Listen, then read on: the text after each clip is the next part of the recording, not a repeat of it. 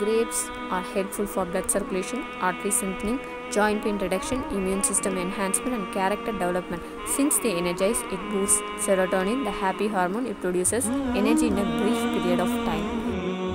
Surah An-Nahl, Ayat 11 says that ينبت لكم به الزرع وزيتونا والنخيل والأعناب ومن كل الثمرات إننا في ذلك لآية لقوم يتفكرون He causes to grow for you thereby the crops, olives, palm trees, grapevines, and from all the fruits. Indeed, in that is a sign for a people who give thought.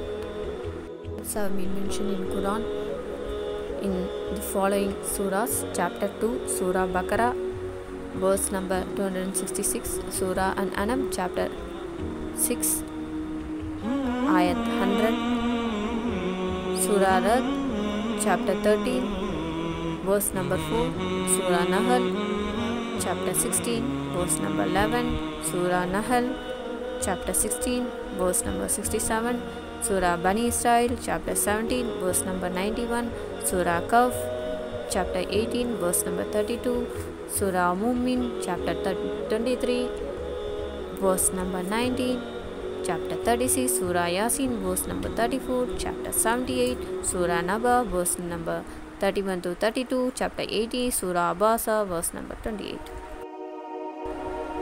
Grape skin is thought to be particularly beneficial to digestion as it relieves constipation, is good for colon, relieves heartburn, and aids the liver in breaking down all fat cells, B and K vitamins.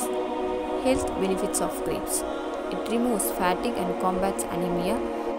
Sugar makes up about 20 to 25 percent of this substance and reaches the bloodstream swiftly. As a result, it is beneficial to those who exert physical and mental effort as relieves physical and mental exhaustion and combats anemia. Beneficial to the liver, kidneys, and digestive system. Each grape's abundant iron and sugar promotes blood production and function as a natural medication for disorders of the liver, kidneys, and digestive system.